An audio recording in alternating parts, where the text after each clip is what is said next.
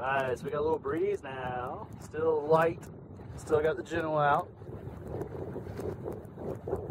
See, she cruises along really nice. We're pointing really high. Got a little bit of a puff coming, but it's going to heel a bit.